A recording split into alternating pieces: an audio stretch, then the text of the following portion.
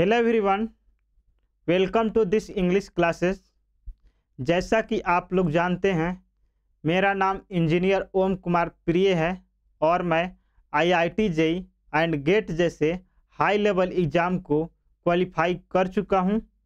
यह हमारा ग्रामर का कोर्स चल रहा है। यह हमारा ग्रामर का प्लेलिस्ट चल रहा है, जिसमें लेवल वन हमने रखे हैं, यानी एक बेसिक लेवल का हम ग्रामर पढ़ा चुके हैं अपने ही चैनल पे। तो इसमें हम क्लास टू है, हमने क्लास वन में पार्ट ऑफ़ स्पीच पढ़ चुके थे और क्लास टू का हम पार्ट वन रखे हैं, क्योंकि इसमें हम देखेंगे टाइप ऑफ़ नाउन और पूरा नाउन का डिटेल कुछ एग्ज़ाम्पल इसके बाद पार्ट टू में चलेंगे और बहुत सारा एग्ज़ाम्पल बहुत सारा क्वेश्चन के साथ वहाँ पे पहचान करेंगे कि कौन सा नाउन है, यानी नाउन का आइडेंटिफाई करेंगे टोटल फाइव नाउन होते हैं, उसमें से कौन कौन ए नाउन हैं? तो चलिए, स्टार्ट करते हैं। तो अगर आप मेरे यूट्यूब चैनल पर नए हैं तो कृपया मैं आपसे रिक्वेस्ट करता हूँ कि इंग्लिश को रट के ना पढ़िए। इंग्लिश रटने वाला सब्जेक्ट नहीं है। तो फिर क्वेश्चन होगा कि पढ़े कैसे? आपके वीडियो के कैसे देखे? बाकी तरीका क्या है पढ़ने का इंग्लिश? तो सारे चीज़ का सोल्यूशन आप स्पोकन का प्लेलिस्ट में चले जाइए। पहला वीडियो में चले जाइए। वहाँ पे हमने बताया है कि इंग्लिश कैसे नहीं रटा जाता है, कैसे पढ़ा जाता है। ठीक तो तो आज हम चलते हैं अपने लेक्चर की तरफ़। तो ठीक है तो चलते हैं नाउन, यानी संज्ञा। ठीक तो होता क्या है? किसी भी व्यक्ति, वस्तु, जाति, भाव, गुण, स्थिति या स्थान के नाम को नाउन कहते हैं। ठीक? यानी किसी भी व्यक्ति, वस्तु, जाति, भाव, गुण, स्थिति या स्थान के नाम हो तो उसको हम नाउन कहेंगे। ठीक? एक बार इंग्लिश में थे a noun is the name मतलब नाम ऑफ़ द पर्सन पर्सन का नाम, यानी व्यक्ति का नाम प्लेस मतलब स्थान थिंग ऑब्जेक्ट माने वस्तु क्वालिटी गुण कंडीशन स्थिति एंड एक्शन माने कार्यलाप। क्रियालाप, कार्यलाप कहिए या क्रियालाप। ठीक तो ये सबको डिनोट करता है, उसको हम नाउन कहते हैं। ठीक डिफिनेशन क्लियर हो गया होगा। अब चलते हैं, थोड़ा एग्जांपल देखते हैं। जैसे मेन आदमी मतलब पर्सन का नाम है। सॉरी पर्सन ठीक, अमेरिका, ये क्या है? नाम है कंट्री का इंडिया कंट्री का नाम चाइल्डहुड स्थिति, अवस्था है। ठीक। उसके बाद बुक ऑब्जेक्ट का नाम टेबल ऑब्जेक्ट का नाम इलनेस यानी स्थिति, बीमारी, इसको मतलब बीमारी, ठीक एटीसी हमने कुछ एग्जांपल दिए तो आशा करता हूँ कि नाउन समझ में आया होगा। नहीं समझ में आया तो एक बार स्क्रीन को रोक करके खुद से समझिए, समझ में आ जाएगा। तो चलिए हम चलते हैं टाइप ऑफ़ नाउन ठीक।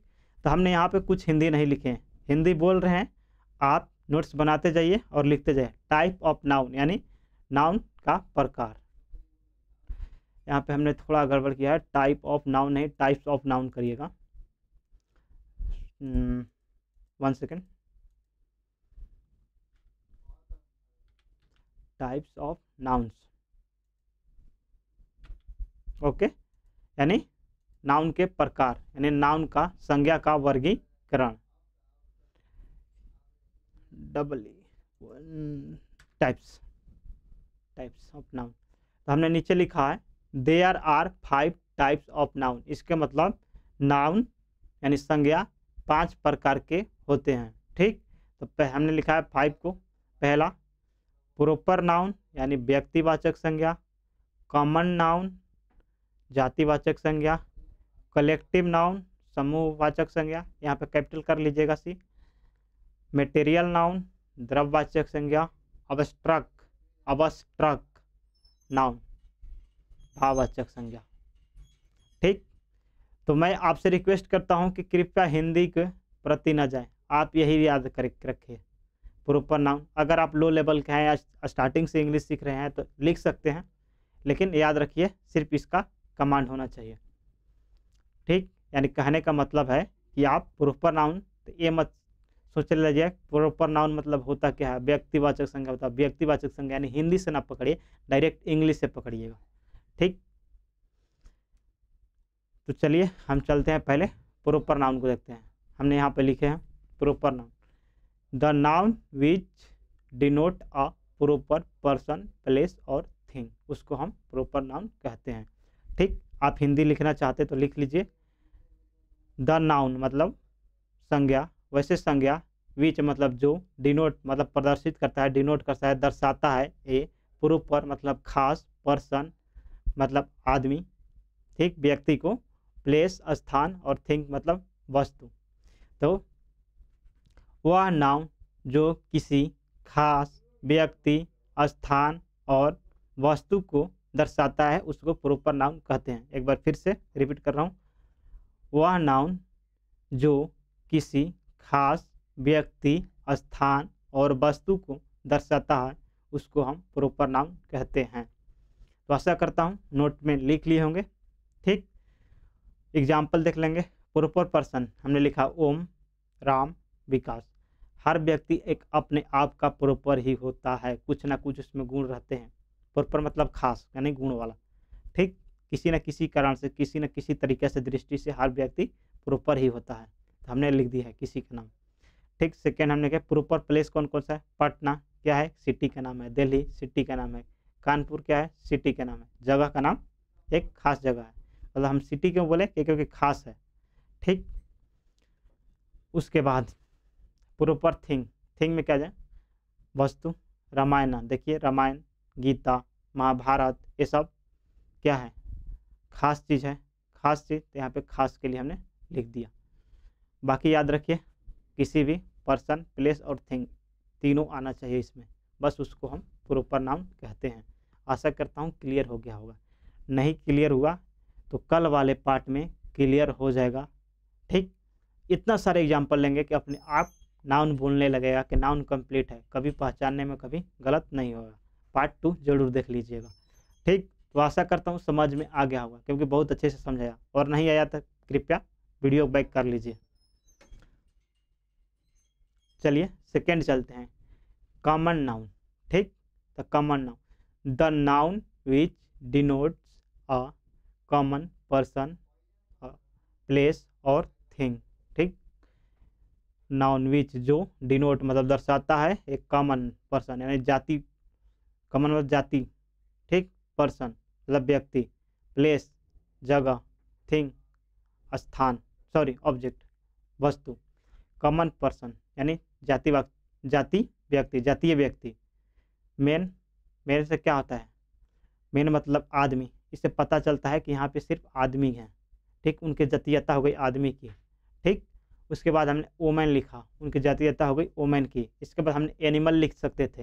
यानी जातीयता हो गई कि ये एनिमल में आते हैं। ठीक? उसी तरह से हम लिख सकते हैं यहाँ पे हिंदू की। तो हमने हिंदू लिख सकते थे।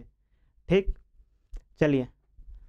सेकेंड कॉमन प्लेस हमने यहाँ पर लिखा टाउन यानी वो टाउन से आता है।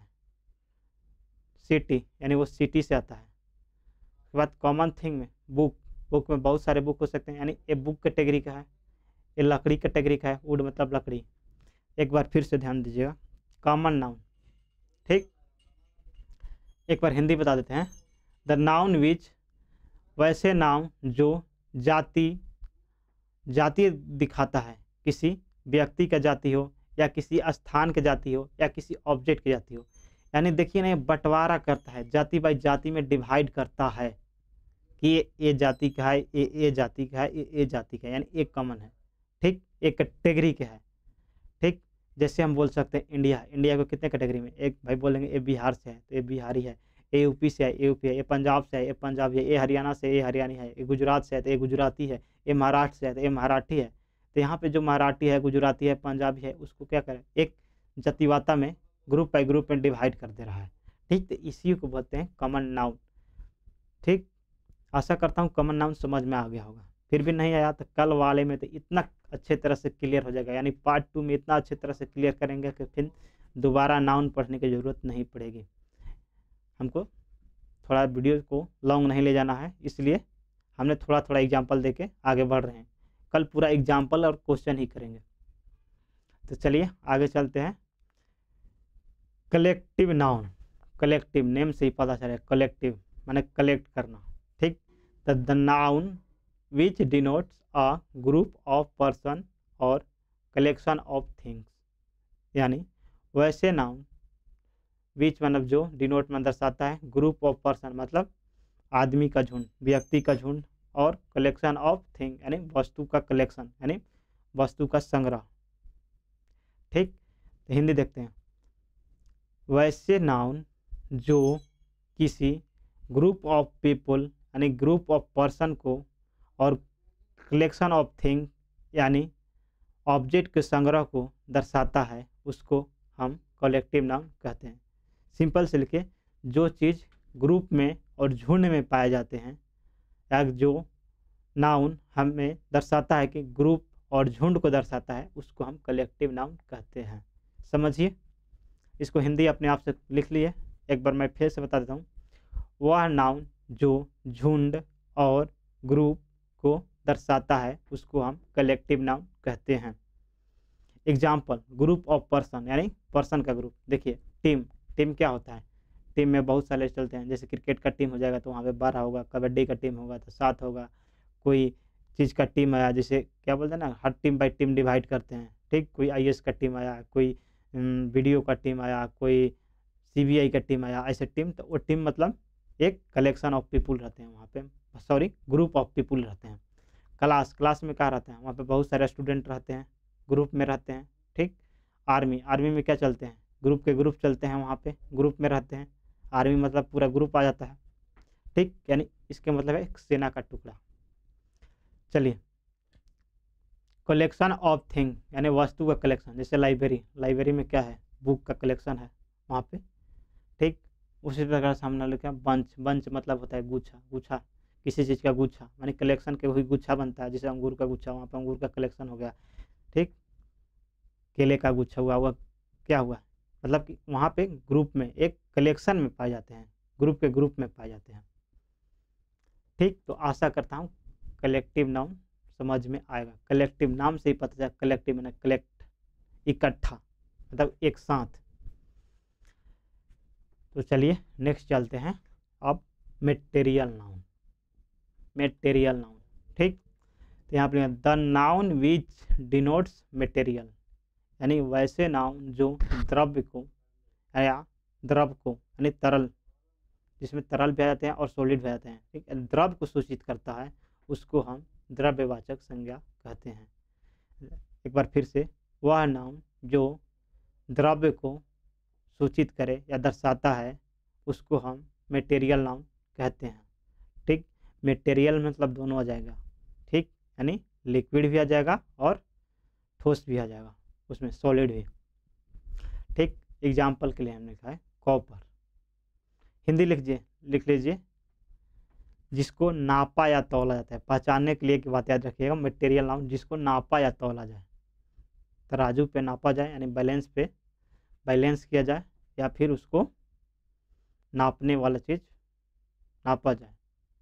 ठीक? मेज़रमेंट किया जाए। मेज़रमेंट और बैलेंस वाले को मटेरियल नाउन में रखते हैं।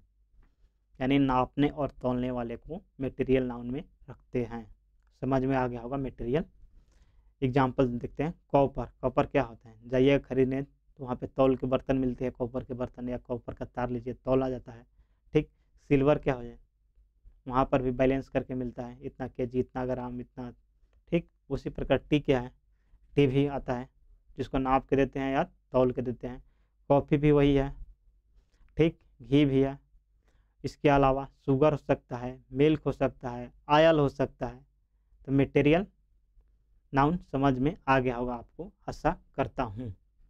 तो चलिए अब चलते हैं last abstract noun abstract noun the noun which denote quality यानी गुण कंडीशन स्थिति, अवस्था और एक्शन कार्य कार्यलाभ ठीक?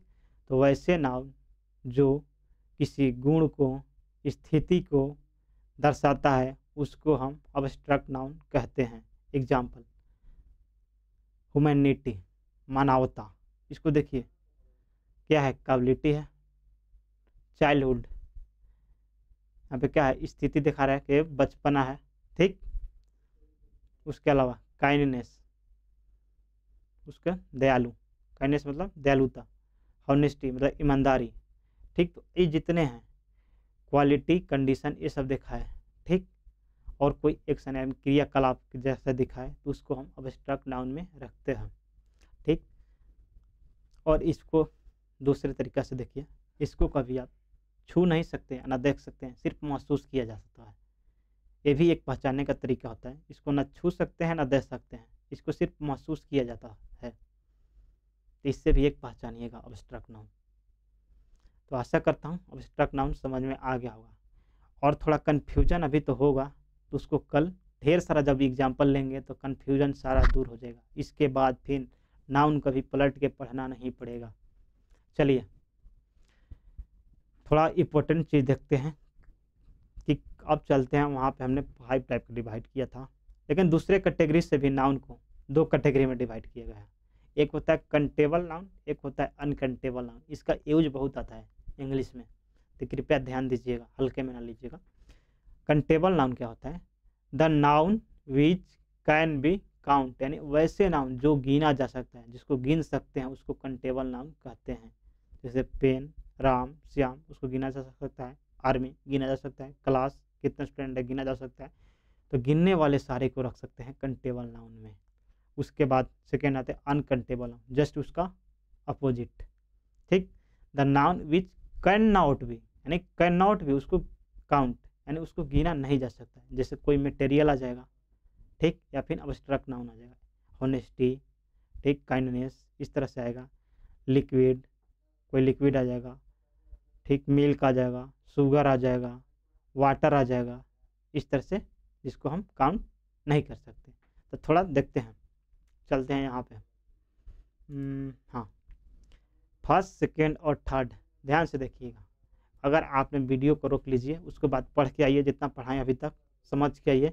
तो ध्यान से देखिएगा कि ए ए और a proper common and collective noun ये जो हैं इसको गिन सकते हैं। एक कंटेबल नाउन बोल सकते हैं कि ये तीनों का तीनों कंटेबल नाउन में आता है। और अनकंटेबल में देखिए मटेरियल आ जाएगा। मटेरियल को कभी काउंट नहीं कर सकते। उसी तरह से अबस्ट्रक्ट नाउन उसको भी काउंट नहीं किया जा सकता सिर्फ़ महसूस किया जाता है। ठीक? तो आशा करता हूँ आपको नाउन का लेक्चर समझ में आया होगा। फिर भी थोड़ा कन्फ्यूज़न इधर उधर एग्ज़ाम्पल में रह गया हो। तो एक बार मैं फिर से बताता हूँ कि पार्ट टू में, इसके नेक्स्ट वाले वीडियो में बहुत अच्छे तरह से हमने समझाए हैं, बहुत सारे एग्ज़ाम्पल लिए हैं। वहाँ पे जा कर के देखिए, पूरा कंप्लीट हो जाएगा। इसके बाद आपको नाउन का कोई कन्फ्यूज़न नहीं हो जाएगा। कि नाउन को आइडेंटिफाई कैसे करें, ठीक?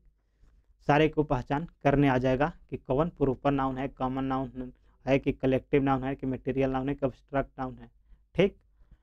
तो चलिए, आप हमारे साथ बने रहिए। तो चलिए, फिर मिलते हैं नेक्स्ट लेक्चर में। Thank you